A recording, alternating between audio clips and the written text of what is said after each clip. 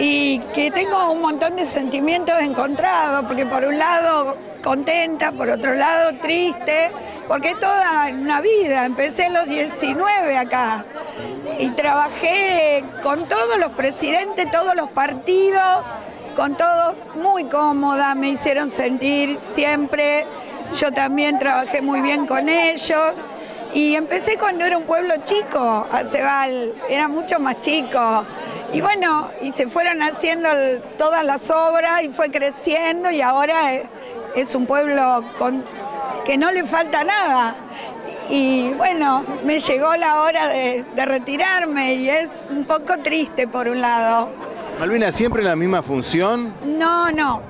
Yo primero empecé trabajando en la oficina de pavimento, porque cuando yo entré era el momento que en Acebal se estaban pavimentando un montón de calles con hormigón, ¿viste?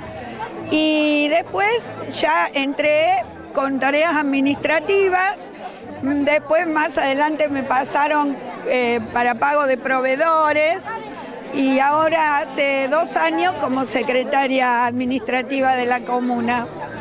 Marina, mencionaste, a ver, Miguel Siliano. Entré con Miguel, que era la época del proceso.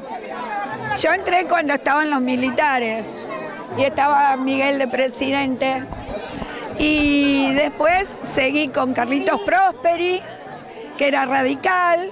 Eh, continué con Rogelio un montón de años. y después con Mirta.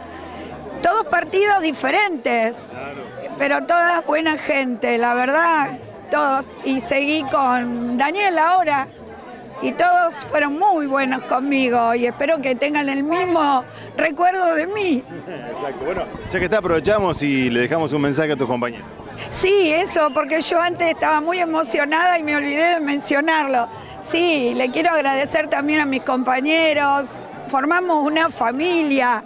Los que estaban conmigo de un principio no están más porque se jubilaron todos, pero los chicos nuevos son muy buenos chicos todos, así que sé que van a seguir trabajando bien con Daniel.